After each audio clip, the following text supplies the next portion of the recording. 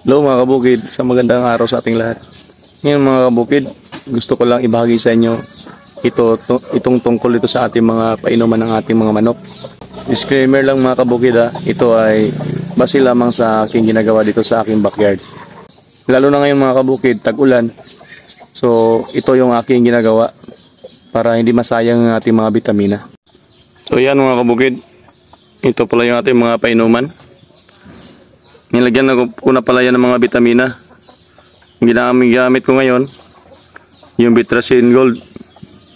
Napunan nyo, kunti lang yung nilagay kong tubig. Yan. Tinansya ko lang mga kabukid kung mauubos pa nila hanggang tanghali. Ginawa ko pala ito mga kabukid, lalo na ngayon maulan. Kasi napuna ko mga kabukid. Pag pinuno ko to ng tubig tapos meron siyang halong bitamina, ang mangyayari masasayang siya. Hindi siya mauubos. Minsan natiti- ma- mayroon pang natitira dito na kalahati. Kaya sayang yung mga bitamina na inilalagay natin. Hindi rin naman nila uubusin.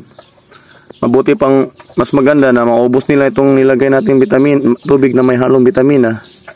Kung maubos man nila ito ng tanghali, at least naubos niya, hindi masasayang.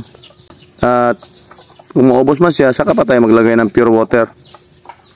Yan, ganyan yung ginawa kong diskarte kasi hindi naman pinamimigay yung mga bitamina na binibili natin, ginagamit natin. Binibili natin yan doon sa Agribet. Kaya ito yung ginawa ko para hindi masayang naman. So yun lang mga kabukid. Disclaimer lang mga kabukid ha. Hindi ako endorser ng Bitracin Gold. Ito ay ito lang talaga yung aking ginagamit dito. Kaya hanggang dito na lang sa gandang araw sa ating lahat. Hindi ko nabibidyoan kung paano ko ibi- bibigay sa kanila. Para hindi naman masyado mahaba yung aking video. Ang akin lang, share ko lang sa inyo yung pinaka purpose nitong video. Yan, dito lang. Maraming salamat sa inyo lahat. Happy farming sa inyo lahat. God bless you and my next video mga kabukid. Bye-bye.